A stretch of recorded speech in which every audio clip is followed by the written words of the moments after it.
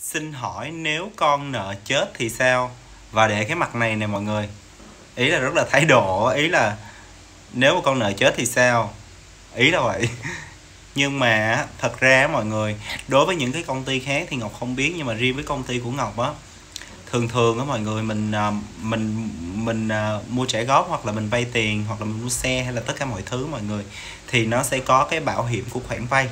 Thì nếu mà trong trường hợp mà con nợ đó là những cái người mà nợ này nè mà người ta mất chết á thì à, người thân có thể gửi cái giấy báo tử đến cho bên công ty của Ngọc. Thì công ty của Ngọc sẽ hỗ trợ xóa cái nợ đó và bên bảo hiểm sẽ trả cái phần nợ còn lại cho bên ờ, công ty tài chính cũng như là sẽ bồi thường một phần tí thiệt hại à, cho khách hàng à, đã mất. À, mọi người cứ làm đúng theo thủ tục theo quy trình là vẫn sẽ được nha.